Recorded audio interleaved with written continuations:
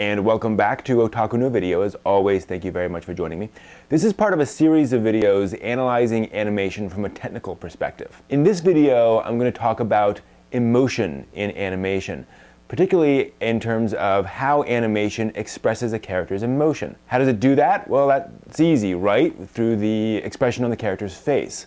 Well, it's a little deeper than that. And this is particularly relevant to anime, which excels at showing both strong emotion and subtle emotion in its characters. Here's a hint the big eyes help. The anime industry uses a variety of stock expressions to show strong emotion, but also the way anime faces are constructed allows for much subtler emotional acting than a typical, say, Warner Brothers superhero cartoon face. That said, anime characters tend towards broad, somewhat over the top exaggerated expression and movement. Characters make these sweeping arm gestures and leap off buildings and do lots of big, open, large movements uh, and actions that express strong emotions. However, anime's relatively low budget creates a very different pacing of emotion than you see in Disney style traditional hand drawn animation. In Western animation, because characters are constantly moving,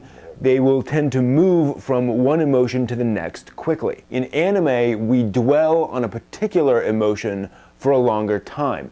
In particular, we'll often cut to a still drawing of just that one character with a particular expression on his or her face to further draw out and help us dwell on that emotion. This is one of the central powers of anime that makes it distinctive from Disney style animation or limited animation. By dwelling on an emotion, we are drawn more deeply into the character's world than when we're leaping from action to reaction. I should also explain a bit about what I call anime visual cliche.